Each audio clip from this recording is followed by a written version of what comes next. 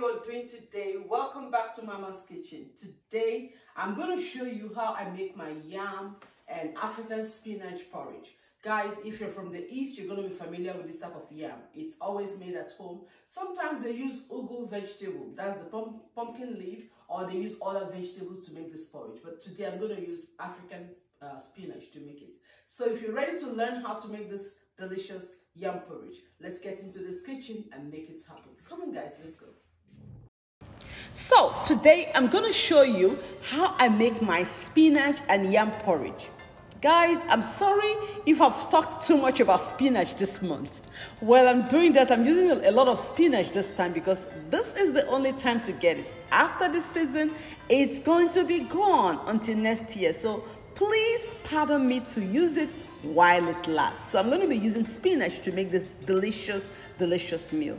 This meal, by the way, is very popular among the Igbos they are the ones that eat this yam with uh, spinach. So I'm going to show you the ingredients that I'm going to be using to make this delicious meal. So first of all, I'm going to be using water. That's number one thing that we have to use. And then we're going to be using yam, pepper, onions, Knorr cube, palm oil, crayfish, and of course that's the spinach. That's the African spinach.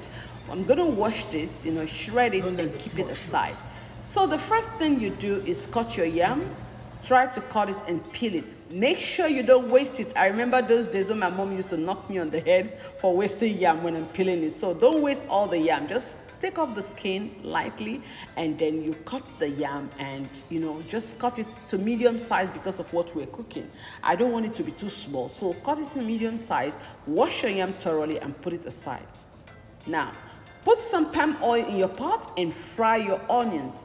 Fry these onions for like five minutes and then you add your pepper. After adding your yellow pepper, you cover your pot and let it simmer for about five minutes. You want them to fry together, you know, want the aroma to get into each other. So after five minutes, you open your pot and then this is when you start to season. So you season with your ground crayfish. I'm going to season with some Knorr cubes. I'm using three Knorr cubes for this size of yam.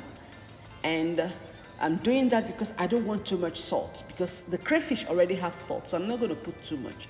So after the Knorr cube, I'm going to add my salt, a little bit of salt, and that's it. After that, I'll let it simmer for a few seconds and I add water. Put enough water to cook the yam. Don't put too much. Just, you know, try to make sure you, you just don't put too much water. And then you gently place in your cut and washed yam and then you're going to cover the pot for about 10 to 15 minutes just for the yam to cook. And after the yam is soft use your knife or your wooden spoon and try to break them up a little bit because you don't want them to be too bulky. And after breaking them up you just that's it. You just break it up and then you taste for salt and make sure everything is all right.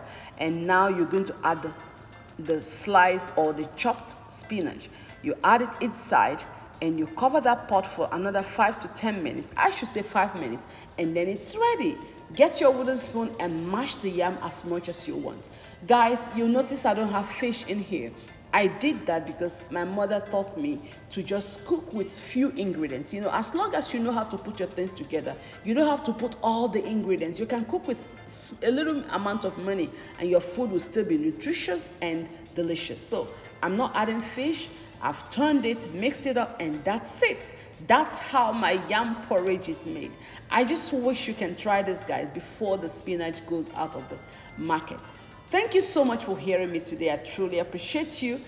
This is Mama's Kitchen, your kitchen, my kitchen, everybody's kitchen. Thank you so much today. Have a great day. See you next time. Ciao, ciao.